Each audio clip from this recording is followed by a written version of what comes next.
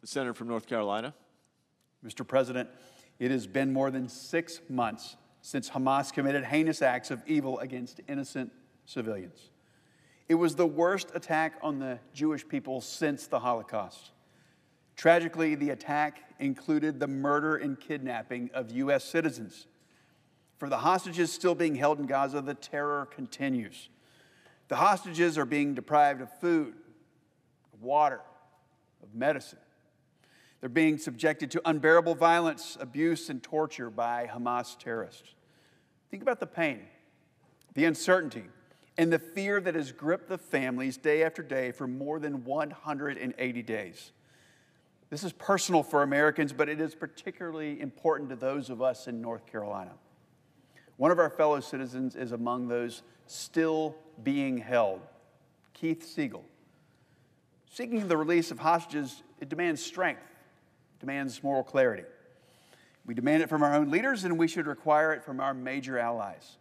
I believe it's time for our nation to re examine who we can count on to be on our side and who stands on the side of the terrorists. The state of Qatar, for example, hosts Hamas leaders in the capital of Doha. Now, initially, Qatari officials claimed that they were exercising leverage on Hamas. They publicly stated that then, they publicly stated thereafter that they don't have any leverage. And now they're promoting a ceasefire regardless of the release of the hostages. After six months, the patience of the United States has run out. The truth is that Qatar does have significant leverage over Hamas. They have the ability to expel these terrorists if they don't release the hostages or at least engage in reasonable negotiations. In fact, last month, a bipartisan group of senators stated clearly that, quote, if Hamas refuses reasonable negotiations, there is no reason for Qatar to continue hosting Hamas's political office or any of its members in Doha. After more than after multiple more than fair offers from Israel, Hamas has refused to accept any deal or even show flexibility on terms. The truth is that Hamas is not interested in releasing the hostages, and Qatar seems equally uninterested in forcing them to do so. It's time that we hold nations like Qatar accountable for their dithering and for their stalling. Since 2022, Qatar has enjoyed major non NATO ally status. This designation is a privilege that nations like Qatar must continuously earn.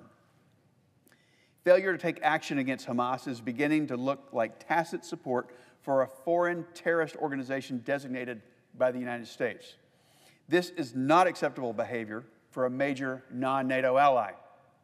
That's why I introduced a bill this week to require the Secretary of State to formally certify four things. One, whether it is in the national interest of the United States for Qatar to maintain its designation as a major non NATO ally.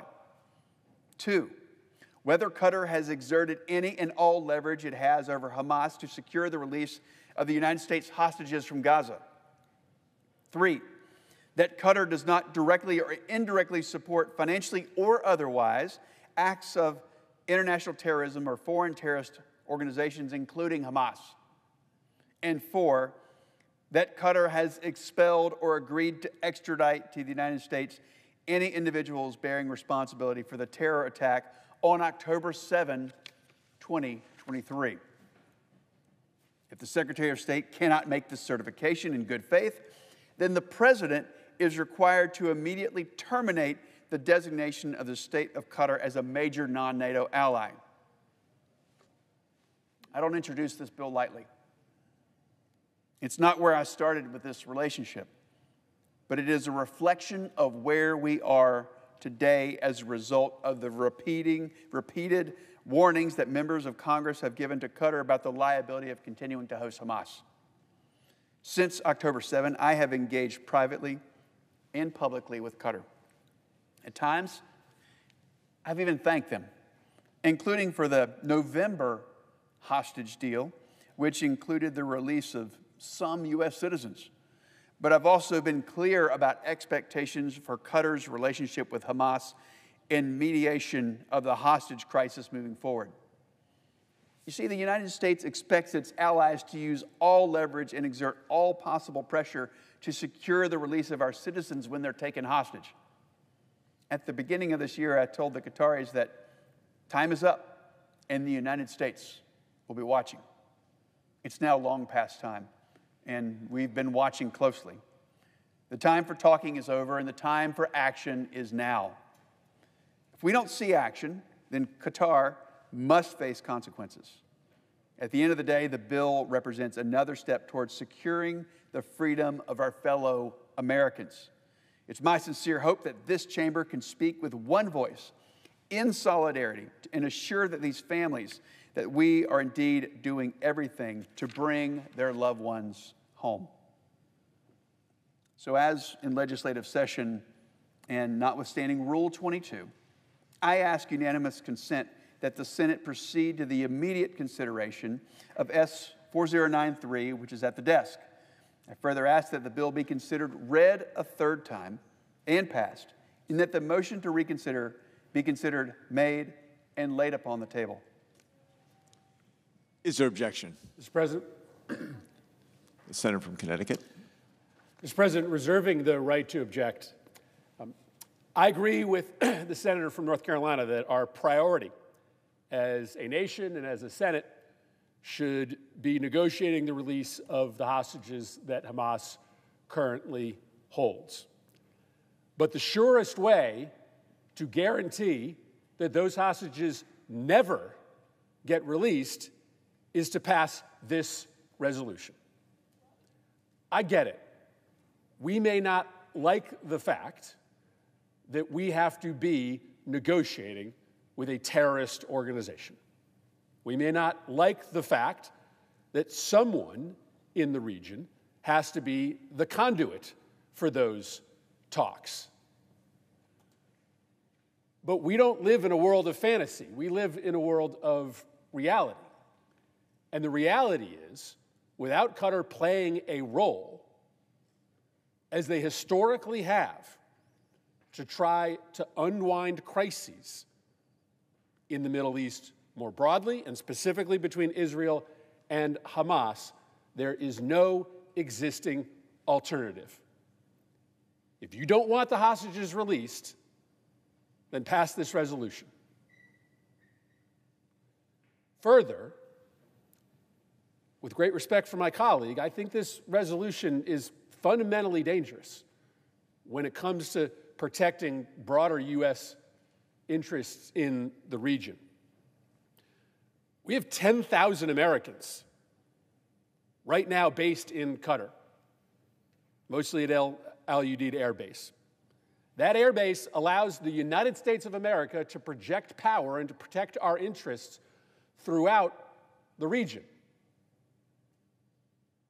It's naive to think that you can pass a resolution downgrading our status with Qatar without there being an impact on that base, our personnel there, and our ability to use that base as a means to protect our interests around the region.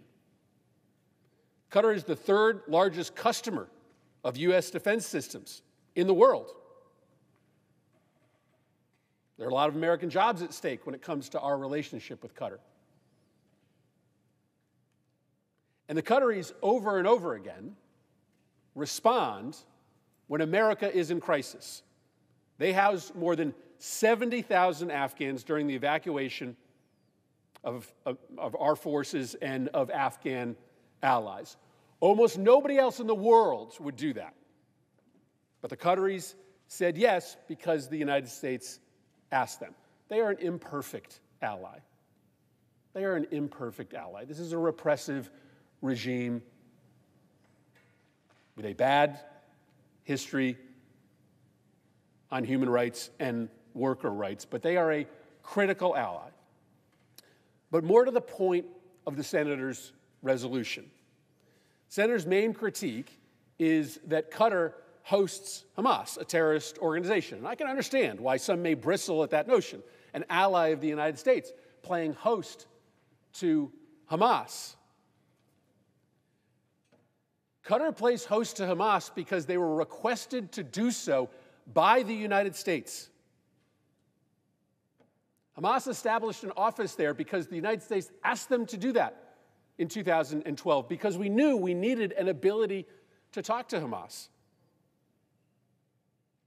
Qatar played a contributing role in Egypt led negotiations to get a ceasefire between Israel and Hamas in 2014, 2019, and 2021. Why? Because we were able to talk to Hamas through their presence in Qatar. And yes, Qatar has been a conduit to send money to Hamas. A lot of people may bristle at that notion as well. Our ally, Qatar, sending money to the Hamas political organization inside Gaza, as they have done for years. Qatar did that at Israel's request.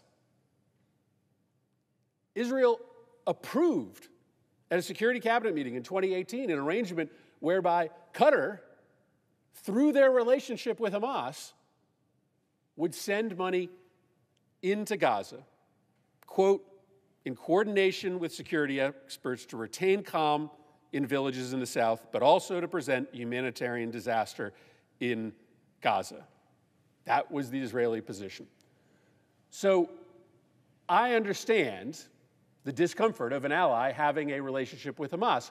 It has come at the request of the United States and at the request of Israel and is absolutely vital to protecting our ability to get hostages out.